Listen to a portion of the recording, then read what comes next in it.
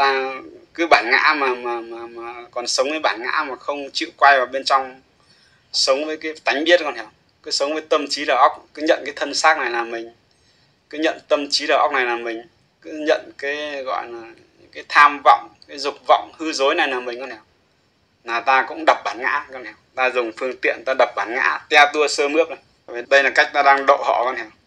tại vì bất cứ ai hiểu còn nhận cái tâm trí đầu óc này là mình còn nhận cái tham sân si này là mình. Còn nhận cái bản ngã này là mình. Còn nhận cái tâm trí đạo này là mình mà không sống với cái tánh biết con hiểu cái tánh phật của mình con hiểu thì đều gọi là dễ đi vào gọi là tà đạo, đi vào ma đạo con hiểu nhận giặc là mình.